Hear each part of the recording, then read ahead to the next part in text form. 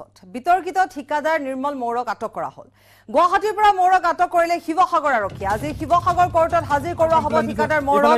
নিৰ্মল মৌৰৰ গ্ৰেপ্তাৰৰ দাবীত পথ অৱৰোধ কৰিছিল দল সংগঠনে বৃহস্পতিবাৰে চৰাইদেউ যুৱ ছাত্ৰ পৰিষদৰ মামৰা আঞ্চলিক সম্পাদক লক্ষী দাস পানীকক প্ৰহাৰ কৰিছিল।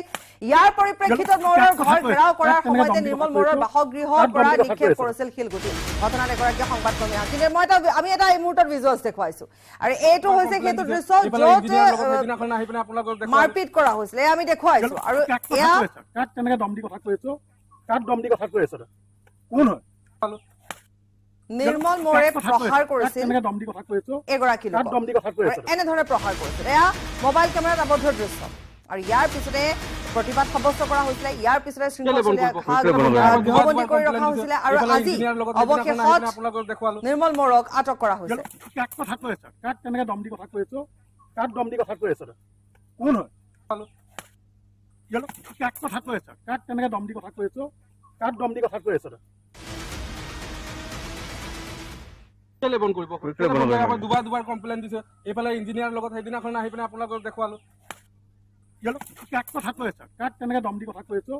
কাক দম দি কথা কৈ আছো কোন হয় কাক কথা কৈ আছা কাক তেনেকে দম আৰু দি কথা এইগৰাকী কৈ আছো? লোকক প্ৰহাৰ কৰাৰ পিছতে? পৰিস্থিতি উত্তপ্ত হৈ পৰে আৰু আমি ইতিমধ্যে সেই ঘটনা সবিশেষ কৈছিলে যে কালিৰ দিনটোত কেনেধৰণে দল সংগঠনে প্ৰতিবাদ সাব্যস্ত কৰিছিল মৌৰৰ গ্ৰেপ্তাৰৰ দাবীত পথ অৱৰোধ কৰিছিল চৰাইদেউত A J Y C P নেতাক প্ৰহাৰ কৰিছিল কি কাৰণত প্ৰহাৰ কৰিছিল এটা পথক লৈ এটা পথক লৈ অভিযোগ আছিল আৰু সেই অভিযোগ যেতিয়া তেওঁলোকে দিবলৈ লৈছিলে তেতিয়া এনেধৰণে প্ৰহাৰ কৰিছিল প্ৰহাৰ কৰাৰ যি ভিডিঅ' সেয়া ইতিমধ্যে ভাইৰেল হৈছে কিন্তু কালিৰ দিনটোত আন এটা ঘটনা এয়া যেতিয়া নিৰ্মল মৌৰৰ ঘৰ ঘেৰাও কৰিবলৈ গৈছিলে সেই সময়ছোৱাতে নিৰ্মল মৌৰৰ ঘৰৰ পৰাই শিলগুটি দলিওৱা হৈছিলে য'ত এগৰাকী সংবাদকৰ্মী আঘাতপ্ৰাপ্ত হৈছিলে।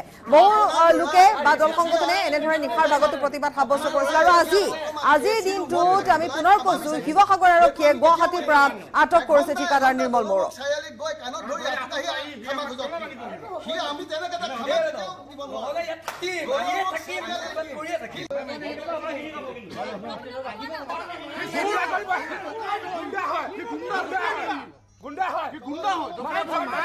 তেনেকে তাক ক্ষমা কেতিয়াও দিব নোৱাৰো।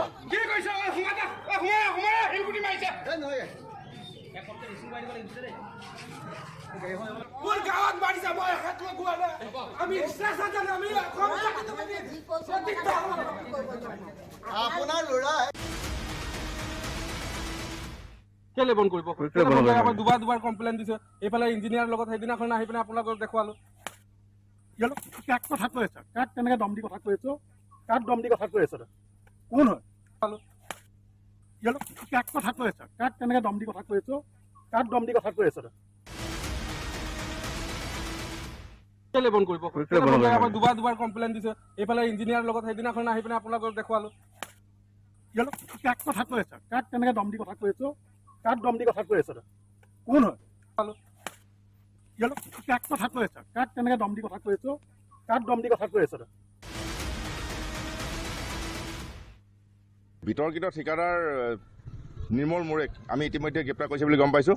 গতিকে আমি এটাই দাবী জনাইছোঁ যে তেওঁক কঠোৰতকৈ কঠোৰতম শাস্তি প্ৰদান কৰক। যিহেতু তেওঁ কেৱল এ জে ৱাই চি পিৰ বিষয়া বিষয় বিভাগে নহয় তেওঁলোকে চতুৰ্থ স্তম্ভ গণতন্ত্ৰ চতুৰ্থ স্তম্ভ সংবাদকৰ্মীৰ ওপৰতো তেওঁলোকে শাৰীৰিকভাৱে আক্ৰমণ কৰিছে গতিকে তেওঁক যদিহে কঠোৰতকৈ কঠোৰতম শাস্তি প্ৰদান নকৰে তেতিয়াহ'লে তেওঁ গণৰক্ষত পৰাটো নিশ্চিত। জেললৈ পঠিয়াব লাগিব আমাৰ স্পষ্ট কথা। তাক এতিয়া ধৰি আনিছে বুলি আমি শুনিছোঁ আমি অসম আৰক্ষীয়ে এই পদক্ষেপক আদৰণি জনাইছোঁ আৰু অতি শীঘ্ৰে জেললৈ প্ৰেৰণ কৰিব লাগিব। আৰু চাৰ্জশ্বিটখন এনেকুৱাকৈ বনাব লাগিব আমি আৰক্ষীক অনুৰোধ কৰিছোঁ যাতে কম দিনৰ ভিতৰত তেওঁ জামিন নাপায়। বিজেপিৰ ত্যাগ জ্যেষ্ঠ নেতা